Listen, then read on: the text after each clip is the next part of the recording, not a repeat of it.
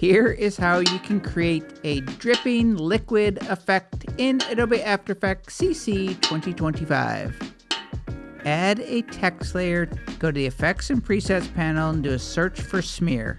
I'll drag CC Smear onto the text layer. I'll go to the Effect Controls panel. I'm going to go to the From property. I'll click the registration point and put it to the bottom of this eye.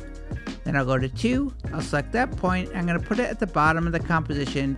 Then I'm going to go to the Reach property. I'm going to lower the reach I'll make sure the CTI is at the beginning of the timeline. I'll click the stopwatch for reach to add a keyframe.